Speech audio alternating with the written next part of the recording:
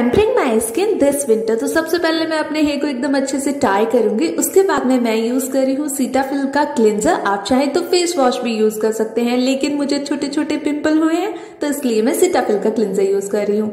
And उसके बाद में पाउडर यूज़ कर रही हूँ, क्योंकि मुझे अपने फेस को शेव करना है। अगर आप बिगनर हैं तो आप थोड़े से एरिया पे शेव करके देखिए, जब आप कंफर्टेबल हो जाए, उसके बाद में रेजर यूज़ कर सकते हैं।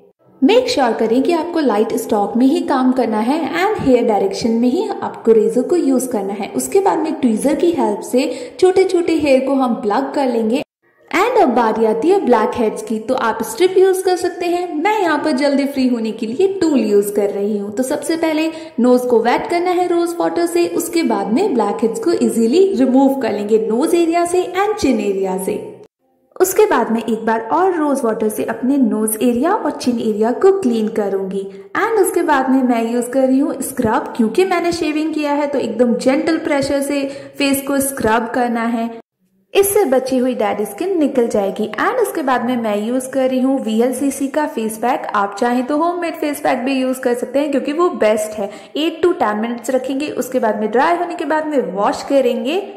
रोज वाटर को एज ए टोनर यूज़ करूँगी एंड डैप डैप करूँगी जिससे कि स्किन इसको ऑब्ज़र्व कर ले एंड अब बारी आती है फेस मसाज की। आप चाहे तो शीट मास्क यूज़ कर सकते हैं, लेकिन मैं यहाँ पर फेस मसाज जेल यूज़ कर रही हूँ। इसको तब तक यूज़ करना है जब तक कि स्किन ऑब्ज़र्व नहीं कर लेती है। इससे आपके ब्लड सर्कुलेशन इंक्रीज होगा एंड स्किन ग्लोई होगी। तो डेफिनेटली ट्राई ओके बाय